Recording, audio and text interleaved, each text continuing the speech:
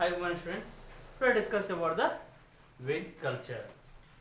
Already we discussed about the Vedic culture in last previous classes, and the Vedic culture was began after the end of Indus civilization. Indus civilization is the most important civilization of India, and it is also most important civilization of the world. And after the end of Indus civilization, and India witnessed another important civilization, which is called the Vedic culture. And the Vedic culture is completely established by Aryans. Hence, this civilization called as a Aryan civilization. ಪ್ರಿಯ ವಿದ್ಯಾರ್ಥಿಗಳು ಇದನ್ನ ನಾವು ವೈದಿಕ ಸಂಸ್ಕೃತಿಯ ಬಗ್ಗೆ ತಿಳ್ಕೊಳ್ಳೋಣ ನಾವು ಕಳೆದ ತರಗತಿಗಳಲ್ಲಿ ವೈದಿಕ ಸಂಸ್ಕೃತಿಯ ಬಗ್ಗೆ ತಿಳ್ಕೊಂಡಿದ್ವಿ? ಈ ಸಿಂಧು ನಾಗರಿಕತೆಯ ಪತನದ ನಂತರ ಭಾರತದಲ್ಲಿ ವೈದಿಕ ಸಂಸ್ಕೃತಿಯ ಅಸ್ತಿತ್ವಕ್ಕೆ ಬರುತ್ತೆ, ಅದು ಸ್ಥಾಪನೆ ಆಗುತ್ತೆ. ಈ ಸಿಂಧು ನಾಗರಿಕತೆ, ಈ ಸಿಂಧು ಸಂಸ್ಕೃತಿಯು ಭಾರತದ ಅಲ್ಲದೆ ಪ್ರಪಂಚದಲ್ಲಿ ಅತ್ಯಂತ ಪ್ರಮುಖವಾದ ನಾಗರಿಕತೆ ಆಗಿದೆ. ಈ ನಾಗರಿಕತೆಯು ಸಾಮಾನ್ಯ ಶಕ ಪೂರ್ವ ಸಾವಿರದ ಏಳುನೂರರಲ್ಲಿ ಅವನತಿ ಆಗುತ್ತೆ. ತದನಂತರ ಭಾರತದಲ್ಲಿ ಮತ್ತೊಂದು ಸಂಸ್ಕೃತಿ ಅಸ್ತಿತ್ವಕ್ಕೆ ಬರುತ್ತೆ. ಆ ಸಂಸ್ಕೃತಿಯೇ ವೈದಿಕ ಸಂಸ್ಕೃತಿ. ಈ ವೈದಿಕ ಸಂಸ್ಕೃತಿಯನ್ನು ಪ್ರಾರಂಭಿಸಿದವರೇ ಆರ್ಯರು ಹಾಗಾಗಿ ಈ ವೈದಿಕ ಸಂಸ್ಕೃತಿಯನ್ನು ನಾವು ಆರ್ಯ ಸಂಸ್ಕೃತಿ ಎಂದಲೂ ಕರೆಯುತ್ತೇವೆ. ನಾವು ಕಳೆದ ತರಗತಿಗಳಲ್ಲಿ ವೈದಿಕ ಸಂಸ್ಕೃತಿ ಆರ್ಯರು ಎಂದರೇನು ಆ, ವೇದಗಳೆಂದರೇನು ವೇದಗಳಲ್ಲಿ ಎಷ್ಟು ವಿಧ ಇದೆ. ಮತ್ತೆ ವೈದಿಕ ಸಂಸ್ಕೃತಿಯ ಮೊದಲ ನಾಲ್ಕು ಪ್ರಮುಖವಾದಂತಹ ವಿಶಿಷ್ಟ ಲಕ್ಷಣಗಳನ್ನು ತಿಳ್ಕೊಂಡಿದ್ವಿ. ಏನು? ಈ ಆರ್ಯ ಎಂಬ ಪದದ ಅರ್ಥ ನೋಡೋದಾದ್ರೆ ಕುಲಿನ ಒಡೆಯ ಅಥವಾ ಕೃಷಿಯ ಮೇಲೆ ಅವಲಂಬಿತನಾದ ವ್ಯಕ್ತಿ ಅಂತ ಕರಿತೀವಿ. ವೇದಗಳು ಈ ಆರ್ಯರಿಂದ ರಚನೆ ಆಗುತ್ತೆ. ಇದು ಪ್ರಪಂಚದ ಮೊದಲ ಅತ್ಯಂತ ಪ್ರಮುಖವಾದಂತಹ ಸಾಹಿತ್ಯ ಆಧಾರಗಳಾಗಿವೆ. ಈ ವೇದಗಳನ್ನು ನಾವು ನೋಡೋದಾದ್ರೆ ನಾಲ್ಕು ವೇದಗಳಿವೆ. ಒಂದು ಋಗ್ವೇದ, ಯಜುರ್ವೇದ, ಸಾಮವೇದ ಅಥವಾ ವೇದ ಮತ್ತೆ ಈ ಸಿಂಧು ನಾಗರಿಕತೆಯ ನಂತರ ಸ್ಥಾಪನೆ ಆದಂತಹ ಈ ವೈದಿಕ ಸಂಸ್ಕೃತಿಯು ಮತ್ತೆ ಸಿಂಧು ಸಂಸ್ಕೃತಿಗೆ ಅಪಾರವಾದ ವ್ಯತ್ಯಾಸಗಳು ನೋಡ್ತೀವಿ. ಏನು ಸಿಂಧು ಜನರು ಸಂಪೂರ್ಣವಾಗಿ ನಗರ ಪ್ರದೇಶಗಳಲ್ಲಿ ವಾಸ ಮಾಡ್ತಾರೆ. ಈ ವೈದಿಕ ಸಂಸ್ಕೃತಿಯ ಜನರು ಸಂಪೂರ್ಣವಾಗಿ ಹಳ್ಳಿಯಲ್ಲಿ ವಾಸ ಮಾಡ್ತಾರೆ. ಹೀಗೆ ಹಲವಾರು ವ್ಯತ್ಯಾಸಗಳನ್ನು ನಾವು ಕಾಣಬಹುದಾಗಿದೆ. ಅಂದ್ರೆ ಈ ರಾಜಕೀಯ ಸ್ಥಿತಿ, ಸಾಮಾಜಿಕ ಸ್ಥಿತಿ, ಆರ್ಥಿಕ ಸ್ಥಿತಿ ಇವು ಮೊದಲ ಪ್ರಮುಖವಾದಂತಹ ವೈದಿಕ ಸಂಸ್ಕೃತಿಯ ವಿಶಿಷ್ಟ ಲಕ್ಷಣಗಳಾಗಿವೆ. ಇದನ್ನ ನಾವು ಧಾರ್ಮಿಕ ಮತ್ತೆ ಶಿಕ್ಷಣ ಮತ್ತು ವಿಜ್ಞಾನದ ಬಗ್ಗೆ ತಿಳಿದುಕೊಳ್ಳೋಣ. Okay Vedic culture is completely establish by Aryans Aryans establish the culture in India after the end of Indus civilization Vedic culture was completely classified in two types one is Vedic period and ಎರಡರ್ Vedic period and hey, Aryans were established the uh, Vedic culture and then we already known about the meaning of Aryans and the Vedas and how many Vedas are there. Okay. And once again I repeat it. And Arya means noble, master or a person depend on agriculture. And the Vedas means knowledge. There are four Vedas are there. One is the Rig Veda, Yajurveda, Samaveda and Athavar and the political, social, economic are the most important salient features of Vedic religion. Okay? Let us today discuss about the another uh, remaining salient features of Vedic culture. They are religion and science and education.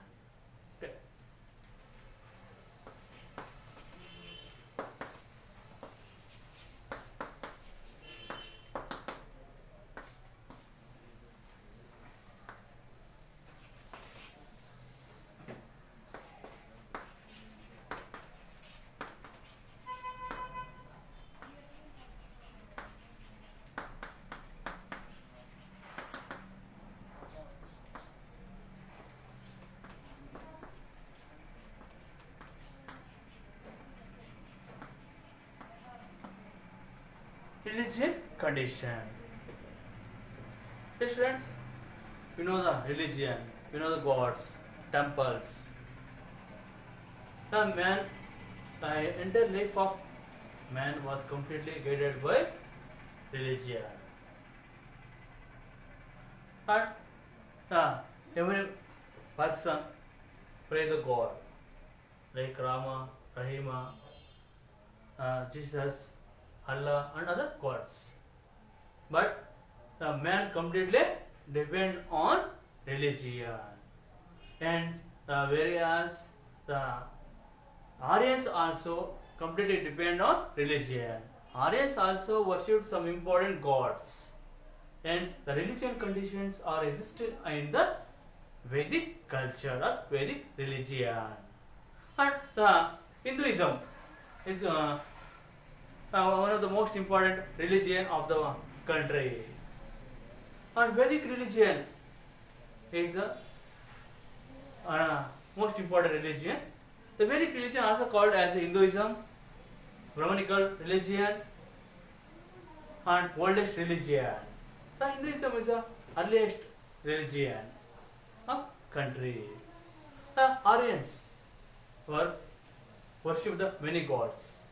They are worshippers of nature.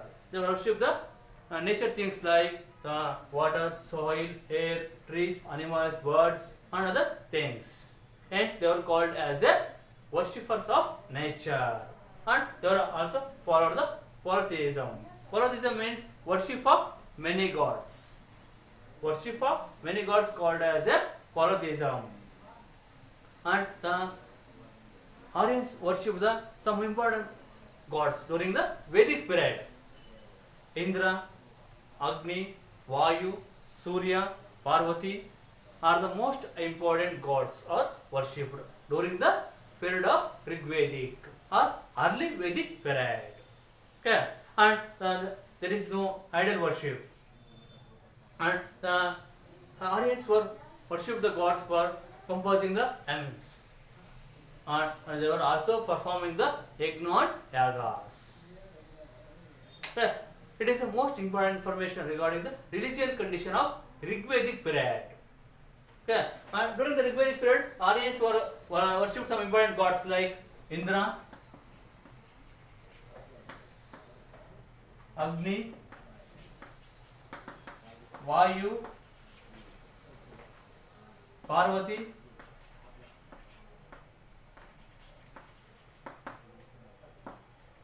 and other gods.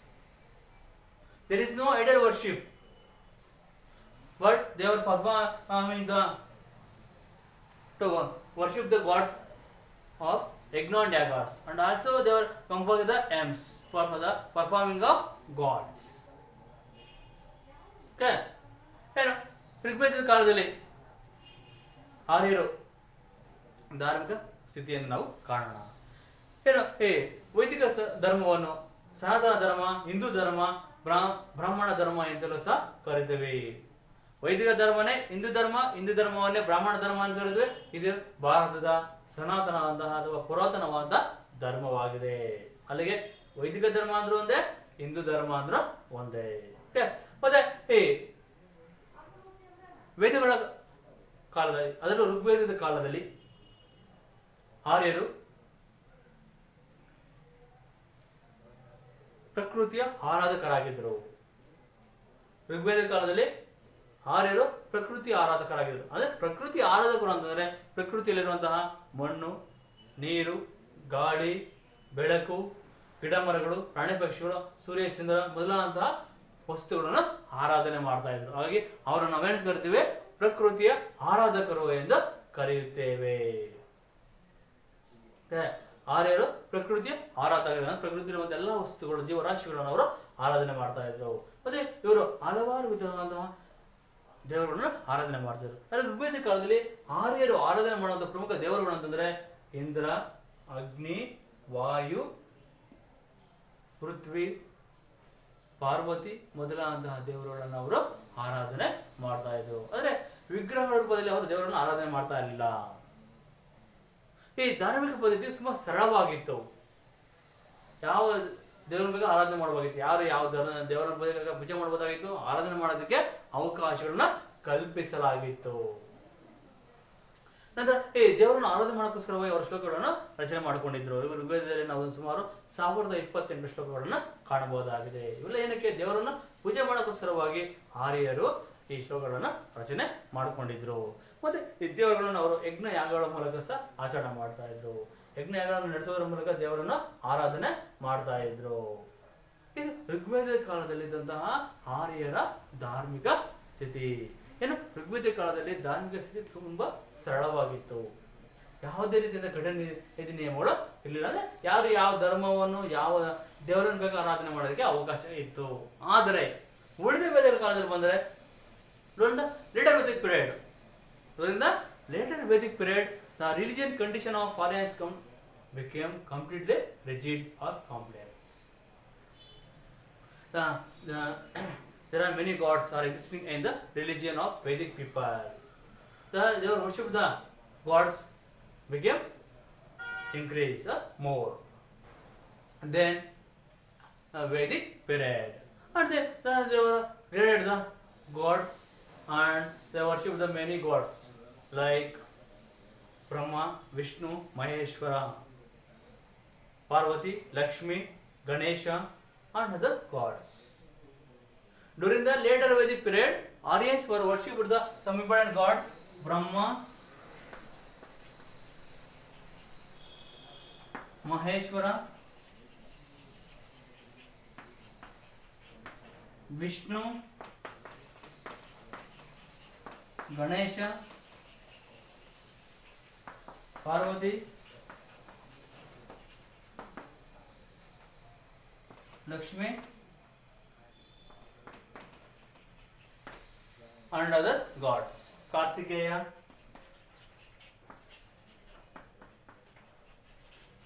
and other gods.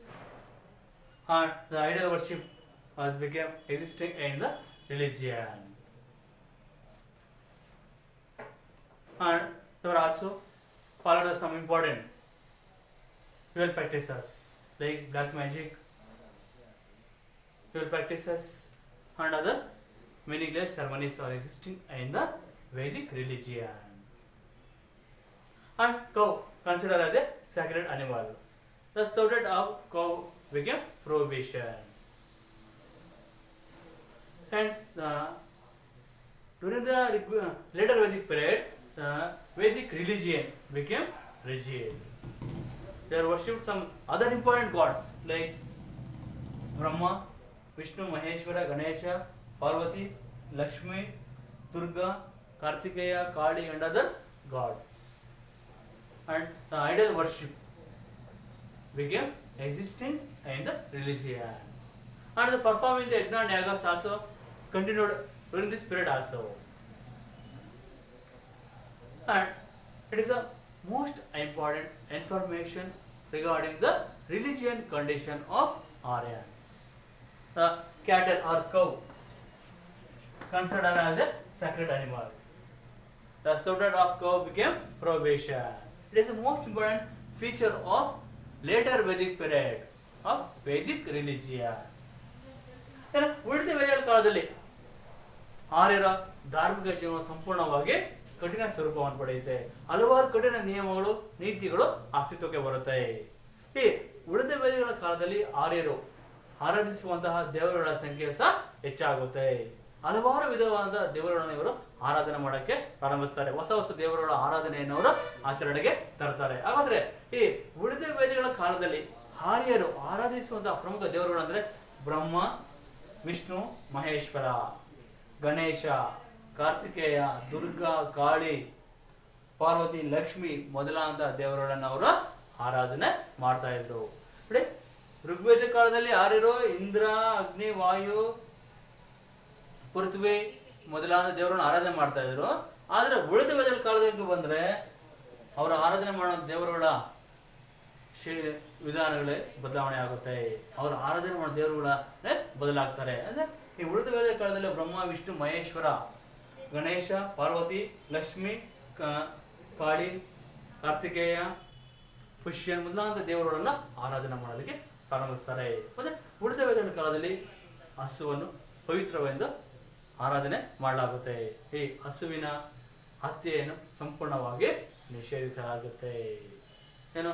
ಈ ನಾವು ಜಾನುವಾರುಗಳನ್ನು ಅಥವಾ ಹಸುವನ್ನು ಹಾಲಿನ ಸಂಪಾದನೆ ಪರಿಗಣಿಸಿವಿ. ಈ ಉಳಿದ ಕಾಲದಲ್ಲಿ ಈ ಹಸುವನ್ನು ಕೊಲ್ಲುವುದನ್ನು ಸಂಪೂರ್ಣವಾಗಿ ನಿಷೇಧ ಮಾಡಲಾಗುತ್ತೆ. ಅಂದ್ರೆ ಈ ಉಳಿದ ಕಾಲದಲ್ಲಿ ಹಲವಾರು ವಿಧದ ಕಠಿಣ ನೀತಿ ನಿಯಮಗಳು ಅಸ್ತಿತ್ವಕ್ಕೆ ಬರುತ್ತೆ. ಮತ್ತೆ ಈ ಉಳಿದ ವೇದ ಕಾಲದಲ್ಲಿ ಸಹ ಯಜ್ಞಗಳ ಆಚರಣೆಗೆ ಅವಕಾಶವನ್ನು ಕಲ್ಪಿಸಲಾಗುತ್ತೆ. Varnas. Varnas means ಚತುರ್ವರ್ಣಾಸ್ ashramas and ಪುರುಷಾರ್ಥಾಸ್. Are the most important parts the Vedic religion है वर्णास में chaturvarnas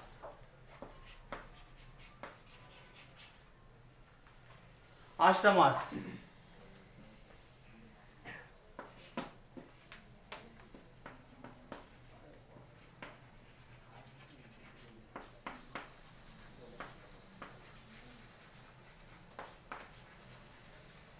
varnas ashramas and purusharthas are the most important parts of Vedic religion. Varnas means Chaturvarnas. There are four important Chaturvarnas are there. They are Brahmana, Kshatriya, Vaishya, and Shudra. And ashramas means the individual life of man was classified into four parts. It is called as a ashramas. The most important ashramas are Brahmacharya, Grihastha, Vanaprastha and Sannyasasrama. And Purusharthas means Dharma, Artha, Kama and Moksha. It is called as a Purusharthas and these are the most important parts of Vedic religion. And the Vedic religion, the Aryans were completely believed on the God, existence of God. And also they were believed in the theory of birth, death and rebirth. The Aryans were completely believed that the theory was birth, death, and rebirth. And also they believed that transfiguration of soul. After the death of man, the soul was transferred to another body. Hence it is called as a transmigration of soul. So it is completely believed that the Aryans. And then the individual soul was reached to God, it is called as a moksha. Individual soul was reached to God, it is called as a moksha. Hence, to attain the moksha by performing the most important theories or paths like Jnana Marga, Karma Marga, and Mukti Marga. Jnana Marga, Karma Marga are the most important paths to attain the salvation. And the and also Aryans for making the rich contribution in the literature, like the epics of Ramayana Mahabharata, Vedas, Puranas, Upanayanas are the most important literary sources. And also, it is the most important contribution of Aryans in the field of literature. Okay. It is the most important information regarding the religion condition of Aryans. ಏನು ಆರ್ಯರ. ವೈದಿಕ ಸಂಸ್ಕೃತಿಯ ಪ್ರಮುಖವಾದ ಅಂಗಗಳು ಯಾವುವು ಅಂತಂದರೆ, ವರ್ಣಗಳು, ಆಶ್ರಮ ವ್ಯವಸ್ಥೆ, ಪುರುಷಾರ್ಥಗಳು. ವರ್ಣಗಳು, ಆಶ್ರಮಗಳು, ಪುರುಷಾರ್ಥಗಳು. ಇವು ವೈದಿಕ ಸಂಸ್ಕೃತಿಯ ಅತ್ಯಂತ ಪ್ರಮುಖವಾದ ಭಾಗಗಳಾಗಿವೆ. ಇಲ್ಲಿ ವರ್ಣಗಳು ಅಂತಂದ್ರೆ ಚಾತುರ್ವರ್ಣಗಳು. ಚಾತುರ್ವರ್ಣಗಳಲ್ಲಿ ನಾಲ್ಕು ವರ್ಣಗಳಿವೆ. ಯಾವುದು? ಬ್ರಾಹ್ಮಣ, ಕ್ಷತ್ರಿಯ, ವೈಶ್ಯ, ಶೂದ್ರ. ಮತ್ತೆ ಆಶ್ರಮಗಳಲ್ಲಿ ನೋಡಿದ್ರೆ ಅವು ವ್ಯಕ್ತಿಯ ವೈಯಕ್ತಿಕ ಜೀವನವನ್ನು ನಾಲ್ಕು ಕಾಲಘಟ್ಟಗಳ ವಿಂಗಡ ಮಾಡ್ತೀವಿ. ಅವುಗಳನ್ನು ನಾವು ಅಂತ ಕರಿತೀವಿ. ಯಾವಂದ್ರೆ ಬ್ರಹ್ಮಚರ್ಯ, ಗೃಹಸ್ಥಾಶ್ರಮ, ವಾನಪ್ರಸ್ಥ ಅಂಡ್ ಸನ್ಯಾಸಿ. ಹೀಗೆ ಒಬ್ಬ ವ್ಯಕ್ತಿ ಜೀವನವನ್ನ ನಾಲ್ಕು ವಿಧಗಳ ವಿಂಗಡಣೆ ಮಾಡ್ತೀವಿ. ಅವಳನ್ನು ನಾವು ಆಶ್ರಮಗಳು ಎಂದು ಕರಿತೀವಿ. ಮತ್ತೆ ಪುರುಷಾರ್ಥಗಳು. ಯಾವಂದ್ರೆ ಧರ್ಮ, ಅರ್ಥ, ಕಾಮ, ಮೋಕ್ಷ. ಇವು ಪುರುಷಾರ್ಥಗಳಾಗಿವೆ. ಹಾಗಾಗಿ ಈ ಮೂರು ವೈದಿಕ ಸಂಸ್ಕೃತಿಯ ಅಥವಾ ವೈದಿಕ ಧರ್ಮದ ರಾಜಕೀಯ ಧಾರ್ಮಿಕ ವ್ಯವಸ್ಥೆಯ ಅತ್ಯಂತ ಪ್ರಮುಖವಾದಂಥ ಅಂಗಗಳಾಗಿವೆ. ಮತ್ತೆ ಈ ಆರ್ಯರು ಅತಿ ಹೆಚ್ಚಾಗಿ ನಂಬುವಂತ ಮತ್ತೊಂದು ಪ್ರಮುಖವಾದ ಅಂಶ ಅಂತಂದ್ರೆ ಹುಟ್ಟು, ಸಾವು ಮತ್ತೆ ಪುನರ್ಜನ್ಮ. ಈ ತತ್ವದಲ್ಲಿ ಆರ್ಯರು ಅತಿ ಹೆಚ್ಚು ನಂಬಿಕೆಯನ್ನ ಹೊಂದಿದ್ರು. ಅದ್ರ ಜೊತೆಗೆ ಇವರು ಆತ್ಮದ ಪುನರಾಗಮನದಲ್ಲಿ ಸಹ ನಂಬಿಕೆಯನ್ನ ಹೊಂದಿದ್ರು.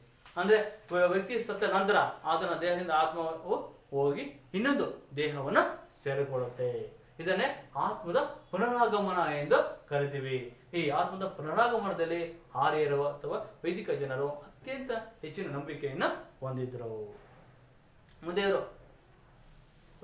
ಒಬ್ಬ ವ್ಯಕ್ತಿಯ ವೈ ಆತ್ಮವು ದೇವರನ್ನು ಸೇರುವುದನ್ನ ಮೋಕ್ಷ ಎಂದು ನಂಬಿದ್ದರು. ಒಬ್ಬ ವ್ಯಕ್ತಿಯ ಆತ್ಮವು ದೇವರನ್ನು ಸೇರುವುದನ್ನ ಮೋಕ್ಷ ಎಂದು ಕರೆದರು ಈ ಮೋಕ್ಷವನ್ನು ಪಡೆಯಲಿಕ್ಕೆ ಅವರು ಜ್ಞಾನ ಮಾರ್ಗ, ಭಕ್ತಿ ಮಾರ್ಗ ಮತ್ತು ಕರ್ಮ ಮಾರ್ಗವನ್ನು ಅನುಸರಿಸಬೇಕೆಂದು ಹೇಳಿದ್ದರು. ಜ್ಞಾನ, ಭಕ್ತಿ ಮತ್ತು ಕರ್ಮ ಮಾರ್ಗದ ಮೂಲಕ ಆತ್ಮವು ಪರಮಾತ್ಮನನ್ನು ಅಥವಾ ದೇವರನ್ನು ಸೇರಬಹುದು ಎಂದು ತಿಳಿಸಿದ್ದರು. ಓಕೆ, ಹೀಗೆ ಇವರು ವೇದಗಳು, ಉಪನಿಷತ್ತುಗಳು, ಬ್ರಾಹ್ಮಣಗಳು, ಅರಣ್ಯಗಳನ್ನು ಮತ್ತು ಮಹಾ ಭಾರತದ ಪ್ರಮುಖವಾದ ಮಹಾನ್ ಗ್ರಂಥ ರಚನೆಗೆ ಸಹಕಾರಿಯಾಗಿರ್ತಾರೆ. ಹೀಗಾಗಿ ಈ ಒಂದು ರಚನೆಗಳು ಸಹ ಆರ್ಯರ ಅತ್ಯಂತ ಪ್ರಮುಖವಾದಂತಹ ಕೊಡುಗೆಯಾಗಿದೆ ಇದು ಆರ್ಯರ ರಾಜಕೀಯ ಸ್ಥಿತಿಯ ಬಗ್ಗೆ ಒಂದು ಮಾಹಿತಿ ಆಗಿದೆ. ಆರ್ಯರು ರಾಜಕೀಯ ಧಾರ್ಮಿಕ ಸ್ಥಿತಿಯನ್ನು ತಿಳ್ಕೊಳ್ಳೋದಾದ್ರೆ ಆರ್ಯರು ಋಗ್ವೇದ ಕಾಲದಲ್ಲಿ ಕೆಲವು ಪ್ರಮುಖ ದೇವರನ್ನು ಆರಾಧನೆ ಮಾಡ್ತಾ ಇದ್ರು. ಒಂದು ಇಂದ್ರ, ಅಗ್ನಿ, ವಾಯು, ಪೃಥ್ವಿ, ಪಾರ್ವತಿ ಮೊದಲಾದ ದೇವರನ್ನು ಆರಾಧನೆ ಮಾಡ್ತಾ ಇರ್ತಾರೆ. ಇಲ್ಲಿ ಯಾವುದೇ ರೀತಿಯ ವಿಗ್ರಹ ಆರಾಧನೆ ಇರೋದಿಲ್ಲ.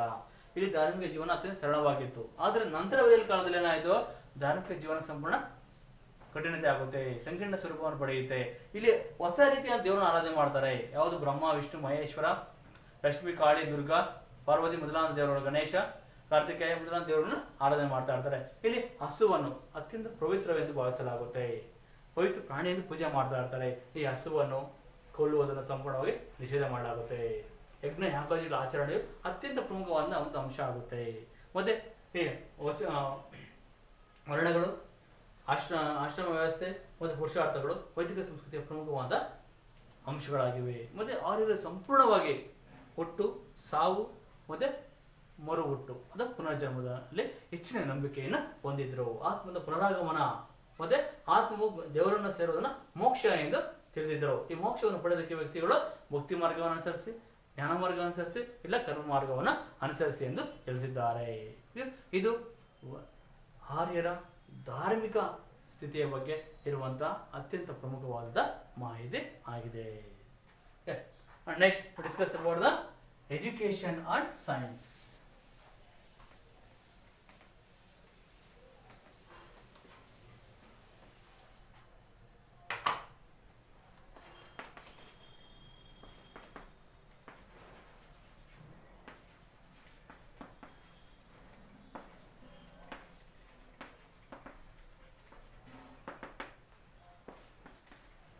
education and science. It is a last important salient feature of Vedic religion. And the, any country is developed on the basis of education. Without education, country could not have developed. Hence, education is the most important. Hence, the kings also realized that and kings were encouraged the education. So, whereas the uh, Vedic peoples also encouraged the or give the importance to education. And the education was given in the Gurukula, Patashala, Agrahara, and Brahmapuris and universities. And Gatika Sanas also. And uh, it is also most important primary education. And the higher education was given in universities like Takshashila and Mathura. Takshashila, Ujjaini, Mathura are the most important universities. It is with the higher education only. And the education was commenced with the ceremony of Upanayana. Upanayana.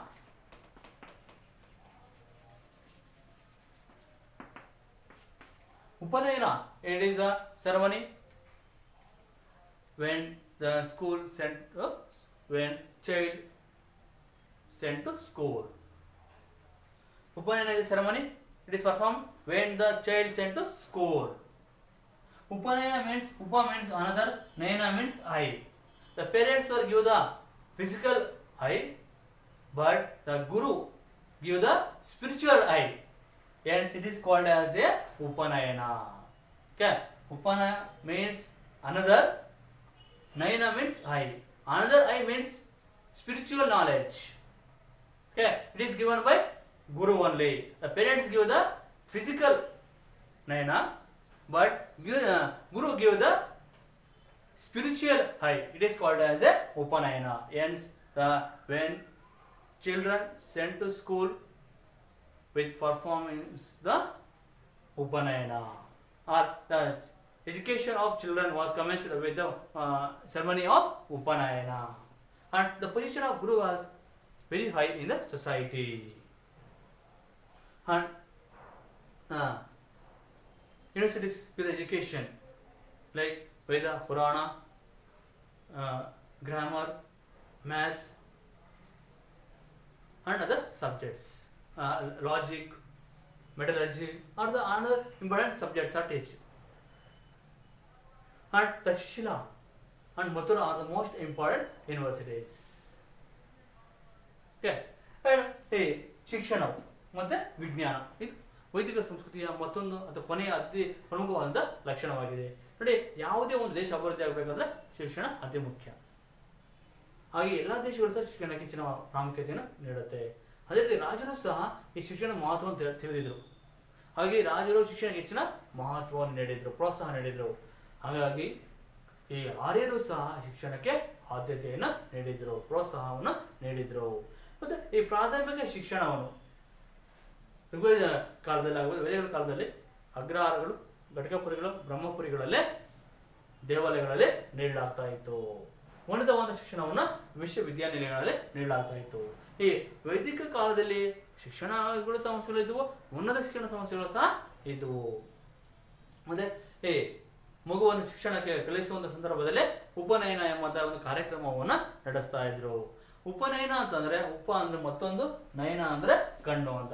ಇನ್ನು ಮತ್ತೊಂದು ಕಣ್ಣು ಯಾವ್ದಂದ್ರೆ ಜ್ಞಾನದ ಕಣ್ಣು ಅಂತ. ಈ ಜ್ಞಾನದ ಕಣ್ಣು ಯಾರು ಕೊಡ್ತಾರೆ? ಗುರುಗಳು ನೀಡ್ತಾರೆ. ಆದ್ರೆ ಒಬ್ಬ ಮಗುವಿಗೆ ದೈಹಿಕವಾದಂತಹ ಜ್ಞಾನವನ್ನು ದೈಹಿಕವಾದಂತಹ ಒಂದು ಕಣ್ಣನ್ನು ತಂದೆ ತಾಯಿಗಳು ಕೊಟ್ಟಿರ್ತಾರೆ. ಆದ್ರೆ ಅದೇ ಮಗುವಿಗೆ ಆಧ್ಯಾತ್ಮಿಕವಾದಂತಹ, ಜ್ಞಾನವಾದಂತಹ ಕಣ್ಣನ್ನು ನೀಡಿದ ಗುರುಗಳು. ಹಾಗಾಗಿ ಮಗುವನ್ನು ಗುರುಗಳ ಬಳಿ ಕಳ ಕಳಿಸಬೇಕಾದ್ರೆ ಶಿಕ್ಷಣಕ್ಕೋಸ್ಕರವಾಗಿ ನಡೆಸ್ತಾ ಇದ್ದಂತಹ ಕಾರ್ಯಕ್ರಮ ಯಾವುದಂದ್ರೆ ಉಪನಯನ. ಓಕೆ ಈ ಉಪನಯನ ಕಾರ್ಯಕ್ರಮ ನಂತರ ಮಗುವಿನ ಶಿಕ್ಷಣವು ಪ್ರಾರಂಭ ಆಗುತ್ತೆ. ಆತನ ಸುಮಾರು ಇಪ್ಪತ್ತೈದು ವರ್ಷಗಳ ವಯಸ್ಸಿನವರೆಗೂ ಶಿಕ್ಷಣವನ್ನು ನೀಡಲಾಗುತ್ತೆ. ಇದು ಗು, ಈ ಶಿಕ್ಷಣ ನೀಡುವಂಥ ಗುರುಗಳಲ್ಲಿ ಸಮಾಜದಲ್ಲಿ ಉನ್ನತವಾದ ಸ್ಥಾನಮಾನವನ್ನು ಕಲ್ಪಿಸಲಾಗಿತ್ತು. ಮತ್ತೆ ಈ ವೇದ, ಪುರಾಣಗಳು, ವ್ಯಾಕರಣಗಳು, ಅರಣ್ಯಗಳು ಪ್ರಮಾಣಕಗಳು ಗಣಿತ ವ್ಯಾಕರಣ, ತರ್ಕಶಾಸ್ತ್ರ ಇವು ಅತ್ಯಂತ ಪ್ರಮುಖವಾಗಿ ಬೋಧಿಸುವಂಥ ವಿಷಯಗಳಾಗಿತ್ತು. ಸಂಸ್ಕೃತ ಭಾಷೆಯಲ್ಲಿ ಶಿಕ್ಷಣವನ್ನು ನೀಡಲಾಗ್ತಾ ಇತ್ತು. ವೇದಿಕ ಕಾಲದಲ್ಲಿ ಸಂಸ್ಕೃತ ಭಾಷೆಯಲ್ಲಿ ಶಿಕ್ಷಣವನ್ನು ನೀಡಲಾಗ್ತಾ ಇತ್ತು. ಉನ್ನತ ಶಿಕ್ಷಣ ವಿದ್ಯಾರ್ಥಿಗಳು ಇದ್ರು, ಅದೇ ರೀತಿಯಾಗಿ ಉಪನ್ಯಾಸಕರು ಸಹ ಇದ್ದರು. ಮತ್ತೆ ವಿಜ್ಞಾನಕ್ಕೆ ಬಂದಂದ್ರೆ Aryans are also had the fade knowledge about the science like medicine, astronomy, astrology, mathematics, metallurgical, logic and other subjects. Now, audience have fair knowledge about the science and technology, art and architecture also, maths, medicine, metallurgy, logic and other subjects. And uh, audience were clearly clarified with the distance between sun and moon, moon and earth, and earth and sun. Aryans were clearly uh, calculate the distance between sun and moon, moon and earth, and sun and earth. And also they had the knowledge about the eclipse, comets, solar, solar calendar, and lunar calendars. And also they were knowledge about the medicine, and they discovered some important diseases and their curing system. And they are uh, cure the diseases from using the materials like leaves, roots, soil, salt, or oil. And they are using the lunar calendar. They are followed the lunar calendar. It is most important information regarding the science. ಏನು ಆರ್ಯರು ಏನು ವಿಜ್ಞಾನ ತಂತ್ರಜ್ಞಾನ ಲೋಹಶಾಸ್ತ್ರ ಗಣಿತಶಾಸ್ತ್ರ ಅಂಗಗಣಿತ ಬೀಜಗಣಿತಗಳ ಬಗ್ಗೆ ಹೆಚ್ಚಿನ ಜ್ಞಾನವನ್ನು ಹೊಂದಿದ್ದರು ಜೊತೆಗೆ ಇವರು ತರ್ಕಶಾಸ್ತ್ರದಲ್ಲಾಗಿರ್ಬೋದು, ಲೋಹಶಾಸ್ತ್ರದಲ್ಲಿ ಸಹ ಅಪಾರವಾದಂತಹ ಜ್ಞಾನವನ್ನು ಹೊಂದಿದ್ದರು ಏನು ಆರ್ಯರು ಸಂಪೂರ್ಣವಾಗಿ ಭೂಮಿ ಮತ್ತೆ ಚಂದ್ರ, ಭೂಮಿ ಮತ್ತು ಸೂರ್ಯ, ಮತ್ತೆ ಸೂರ್ಯ ಮತ್ತೆ ಚಂದ್ರ ನಡುವೆ ಇರುವಂತಹ ಅಂತರವನ್ನು ಇವರು ಲೆಕ್ಕಾಚಾರವನ್ನು ಮಾಡಿದ್ರು. ಅದೇ ಇವರು ಲೋಹಶಾಸ್ತ್ರದ ಬಗ್ಗೆ ಹೆಚ್ಚಿನ ಜ್ಞಾನ ಏನಾದಿತ್ತು ಮತ್ತೆ ಇವರಿಗೆ ಏನು ಧುಮ್ಮಗೇದಿಗಳ ಬಗ್ಗೆ ಉಲ್ಕಿಗಳ ಬಗ್ಗೆ, ಭೂಕಂಪಗಳ ಬಗ್ಗೆ ಹೆಚ್ಚಿನ ಜ್ಞಾನವನ್ನು ಸಹ ಪಡೆದಿದ್ದರು ಆ ಜೊತೆಗೆ ಇವರು ವೈದ್ಯಶಾಸ್ತ್ರದಲ್ಲಿ ಸಹ ಅಪಾರವಾದ ಜ್ಞಾನ ಹೊಂದಿದ್ರು. ಏನು ರೋಗಗಳ ಬಗ್ಗೆ ಅವನ್ನು ಗುಣಪಡಿಸುವಂತಹ ವಿಧಾನಗಳ ಬಗ್ಗೆ ಸಂಪೂರ್ಣವಾದ ಮಾಹಿತಿ ತಿಳಿದಿದ್ದವು ರೋಗಗಳನ್ನು ಗುಣಪಡಿಸೋಸ್ಕರವಾಗಿ ಯಾವ ಒಂದು ವಸ್ತುಗಳನ್ನು ಬಳಸಬೇಕೆಂಬಂತಹ ಒಂದು ಖಚಿತವಾದಂತಹ ಮಾಹಿತಿಯನ್ನು ಆರ್ಯರು ಹೊಂದಿದ್ರು. ಏನು ಇವರು ರೋಗಗಳನ್ನು ಗುಣಪಡಿಸುವಸ್ಕೋಸ್ಕರವಾಗಿ ಗೆಡ್ಡೆ ಗೆಣಸುಗಳು ಎಲೆ, ಮತ್ತೆ ಎಣ್ಣೆ, ಮತ್ತೆ ಮಣ್ಣು, ಉಪ್ಪು ಮೊದಲಾದ ವಸ್ತುಗಳನ್ನು ಬಳಸಿ ಆ ರೋಗಗಳನ್ನು ಗುಣಪಡಿಸ್ತಾ ಇದ್ರು. ಈಗಿನ ಕಾಲ ನೋಡಿದ್ರೆ ಆಯುರ್ವೇದದ ಬಗ್ಗೆ. ಏನು ಆಯುರ್ವೇದ ಬಳಸಿ ಈಗ ಇವೆಲ್ಲ ರೋಗಗಳನ್ನು ಗುಣಪಡಿಸ್ತಾರ? ಇದೇ ವಿಧಾನವನ್ನು ಸುಮಾರು ವರ್ಷಗಳ ಹಿಂದೆ ಆರ್ಯರು ಬಳಸ್ತಾ ಇದ್ರು. ಮತ್ತೆ ಇವರು ಪಂಚಾಂಗದ ಬಗ್ಗೆ ಹೆಚ್ಚಿನ ಜ್ಞಾನ ಹೊಂದಿದ್ರು. ಇವರು ಬಳಸುವಂತಹ ಪಂಚಾಂಗವು ಚಂದ್ರಮಾನ ಪಂಚಾಂಗ ಆಗಿತ್ತು. ಚಂದ್ರನ ಒಂದು ಬದಲಾವಣೆ ಆಧಾರದ ಮೇಲೆ ಇವರು ತಮ್ಮ ಪಂಚಾಂಗ, ತಮ್ಮ ಕ್ಯಾಲೆಂಡರ್ ಪಂಚಾಂಗವನ್ನು ರಚನೆ ಮಾಡಿಕೊಂಡಿದ್ರು. ಇದು ಏನು? ಈ ವೈದಿಕ ಸಂಸ್ಕೃತಿಯ ವಿಜ್ಞಾನ ಶಿಕ್ಷಣ ಮತ್ತೆ ವಿಜ್ಞಾನದ ಬಗ್ಗೆ ಇರುವಂತ ಪ್ರಮುಖವಾದ ಮಾಹಿತಿ ಆಗಿದೆ. ಏನು? ಮಗುವನ್ನು ಶಿಕ್ಷಣ ಕಲಿಸಬೇಕಾದ್ರೆ ಉಪನಯನ ಮತ್ತು ಕಾರ್ಯಕ್ರಮ ಮಾಡ್ತಾ ಇದ್ರು. ಈ ಕಾಲದಲ್ಲಿ ಪ್ರಾಥಮಿಕ ಶಿಕ್ಷಣ ಇತ್ತು, ಉನ್ನತ ಶಿಕ್ಷಣವನ್ನ ಇತ್ತು. ಉನ್ನತ ಶಿಕ್ಷಣ ಶಿಕ್ಷಣ ವಿಶ್ವವಿದ್ಯಾಲಯ ನೀಡಲಾಗ್ತಾ ಇತ್ತು. ಪ್ರಮುಖವಾದ ವಿಶ್ವವಿದ್ಯಾಲಯಗಳು ಯಾವುವು ಅಂತಂದ್ರೆ ತಕ್ಷಶಿಲ ಮತ್ತೆ ಮಥುರ. ಮತ್ತೆ ವೇದ, ಪುರಾಣ, ವ್ಯಾಕರಣ, ತರ್ಕಶಾಸ್ತ್ರ, ಲೋಹಶಾಸ್ತ್ರ, ಗಣಿತಶಾಸ್ತ್ರ ಮೊದಲಾದ ವಿಷಯಗಳನ್ನ ಸಂಸ್ಕೃತ ಭಾಷೆಯಲ್ಲಿ ನೀಡಲಾಗ್ತಾ ಇತ್ತು. ಇವರಿಗೆ ಸಂಪೂರ್ಣವಾಗಿ ಚಂದ್ರ, ಸೂರ್ಯ ಮತ್ತೆ ಭೂಮಿ ಮತ್ತೆ ಚಂದ್ರ, ಭೂಮಿ ಮತ್ತೆ ಸೂರ್ಯನ ನಡುವೆ ಇರುವಂತಹ ಅಂತರವನ್ನು ತಿಳ್ಕೊಂಡಿದ್ರು. ಇವರು ಹಲವಾರು ರೋಗಗಳು ಗುಣಪಡಿಸುವಂತ ವಿಧಾನವನ್ನು ಮಾಡಿಸಿದ್ರು. ಅವರು ಪ್ರಕೃತಿಯಲ್ಲಿ ದೊರೆಯುವ ಗಿಡ ಮರ, ಬೇರು, ಮಣ್ಣು, ಉಪ್ಪು, ಎಣ್ಣೆ ಮೊದಲಾದಂತಹವನ್ನು ಬಳಸಿ ರೋಗಗಳನ್ನು ಗುಣಪಡಿಸುವಂತಹ ಕಲೆಯನ್ನು ತಿಳಿದಿದ್ದರು ಮತ್ತೆ ಇವರು ಪಂಚಾಂಗದಲ್ಲಿ ಸಹ ಹೆಚ್ಚಿನ ಜ್ಞಾನವನ್ನು ಪಡೆದಿದ್ರು. ಅಂತಹ ಪಂಚಾಂಗವೇ ಚಂದ್ರಮಾನ ಪಂಚಾಂಗ ಆಗಿದೆ. ಇದು ಈ ವೈದಿಕ ಸಂಸ್ಕೃತಿ ಬಗ್ಗೆ ಇರುವಂತಹ ಸಂಪೂರ್ಣವಾದ ಮಾಹಿತಿ ಆಗಿದೆ next class discuss about the Mauryan dynasty